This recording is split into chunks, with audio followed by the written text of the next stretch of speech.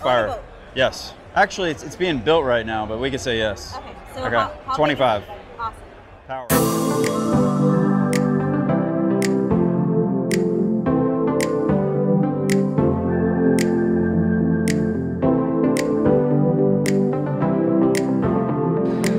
You guys got insurance?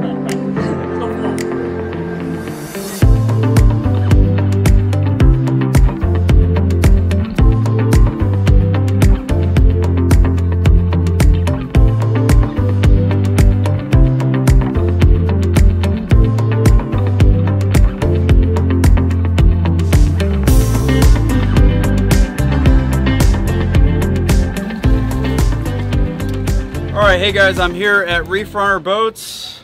Go ahead and introduce yourself. Hey guys, I'm Mike from Reef Runner Boats.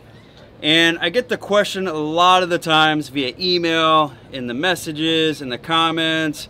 Hey Mike, you know, I love all the boats you're on, but you know, 200, 300,000 isn't an option. What can I get for $75,000 and under? That seems to be the sweet spot with like financing companies and stuff like that. So generally, I haven't had a lot of recommendations because it is super hard to find a boat for under 75 grand, especially when you start loading it up. So I'm gonna give you guys secret sauce. I'm gonna give you a few different options here, but this boat I really like and I'm gonna tell you guys why. You know the formula I have to have. We have to have three-piece construction. When I build a boat, I have to be able to throw as many rod holders as I can. Also have the toe kick room. Um, it comes in handy for putting lights under the gunnels. I mean, just a lot of reasons to have three-piece construction. So these guys nailed it on this boat. Number two, I gotta have a flat deck from the stern of the boat all the way to the bow. When you're running up hot on a fish, I like to put bean bags up there. I don't like forward seating, more storage. Not for me. If you guys need that, they have an option here that you can do that, right? Like Absolutely. families, it's nice to have. I understand, like you got kids. It's nice to be able to cruise with some seating up there. Absolutely. What we did with our 23 footer is we tried to satisfy the fisherman and the family man. Now it is hard to do that with one boat. So we came out with two versions of the same boat, the 23 open and the 230cc. The, the family version has forward seating. It's a little more family friendly. You got a lot more room. You know, you have uh, options for freshwater shower, you know, a, a toilet, flushing toilet inside. So the open version gives you the three-piece construction with all the room around the bow to fish the front of the boat. You got the platform to fish the back of the boat. You got uh, tournament, uh, live well leaning post options, outrigger options. So you could really get the fishing boat out of a 23 footer. And we could also start you at a very basic package with a 200 horsepower and a T-top for around 65,000. It's doable. For the average working guy, that's Okay. doable. You know, the trucks are financing around that price. It's easy to get a boat finance for around 60 grand. So 65,000, no electronics, right? No, that's Yeah. starting, that's light on the options without Okay. electronics, but you're starting at 65 grand and you're getting 200 horses, which is plenty of horsepower for this boat, and a T-top. We have in the floor here 65 gallon insulated macerated kill box, Okay. which is from here to back there. So you could fit a nice kingfish or a mahi in there with no problem. It'll keep your ice cold all day long. Okay. Then we have under the seat here is the freshwater fill Okay. so this, there's a hose that goes down under the deck to a 20 gallon freshwater tank that's under the deck. okay. And then that, Gotta have leads- fresh water. that, that has a, a pump inside the console that is teed off to shoot fresh water out the tower out the side for a hose or a freshwater shower at the transom. Okay. And then this is a new mold that we brought out this year for hardtop. It's a two-piece mold. Uh-huh. So we could put, you know, two different colors, two tones. You have the option of flush mount electronics on the There front or make it a storage box up front. We got nice fat two inch pipe, Yeah. powder coating available. We could do windshield, plexi windshield or ice and isinglass options. You got a 40 gallon live well with a little bit of storage here for tackle, knives, and you know any kind of fishing equipment you want to store. would be good for me to buy this for my boat. This is a nice one. This is great, man. You got 40 gallons. So this is a 40 gallon round live well Okay. with a pump at the bottom and a high side drain. Yeah, so- no standpipe to Yeah. beat your bait fish on. Exactly. So the real secret sauce when you're building a boat and you got to stay in a budget is the electronics. This one's not rigged yet, but when you're building a boat, it's very tempting to throw 10 speakers on here, a 16 inch screen, VHF, all this stuff you're not going to use. But you know, my advice is go with last year's mo- last year model, you know, 10 inch Garmin, Yeah. 1040 or something like that. Yeah. Um, only do two speakers, no amp, go right to the receiver. Uh, you don't even need a VHF these these days. I don't need one. I'm hardly on a VHF anymore. A handheld's fine. Um, really skimp on the electronics because my last boat I put a six thousand dollar stereo system in there.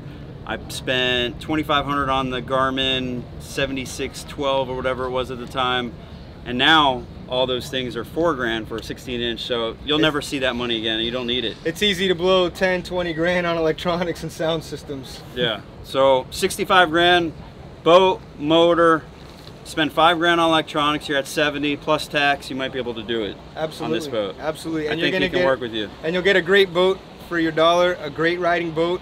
I say we take these guys out for a sea trial and show them what it's Yeah, got. Yeah, let's do it. All right, I'm ready. Thank go. you. Thank you, Mike. Awesome. Hmm. How you doing? I'm Mike. Captain Mike. Captain Mike. What's that? Nice to meet you, Hey. And I'm Ernie.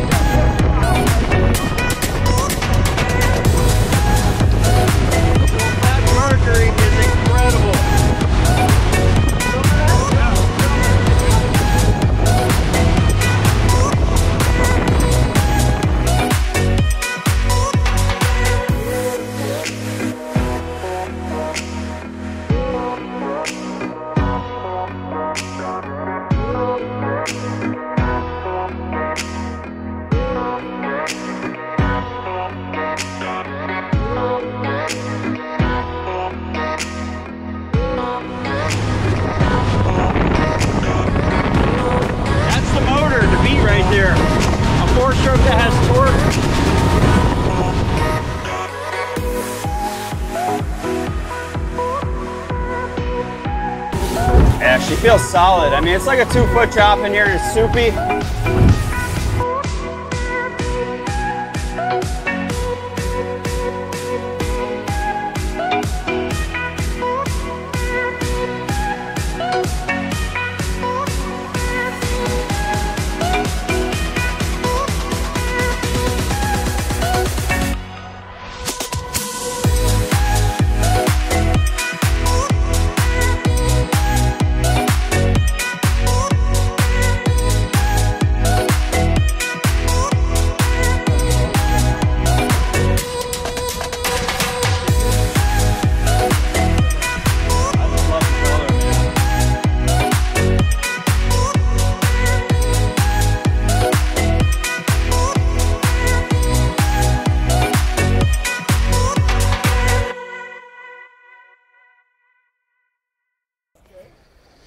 All right, guys, so I just want to show you around this particular boat what I really like about it. First of all, starting with the bait well here, 40 gallons, pretty much pressurized, comes all the way up to the lid here.